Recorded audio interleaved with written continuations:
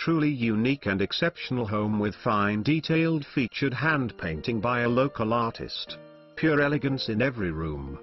No expense has been spared throughout the 5,600 finished square foot custom home, sitting amidst lush professionally landscaped grounds with formal gardens and impressive water features creating a private park-like setting. One of a kind home.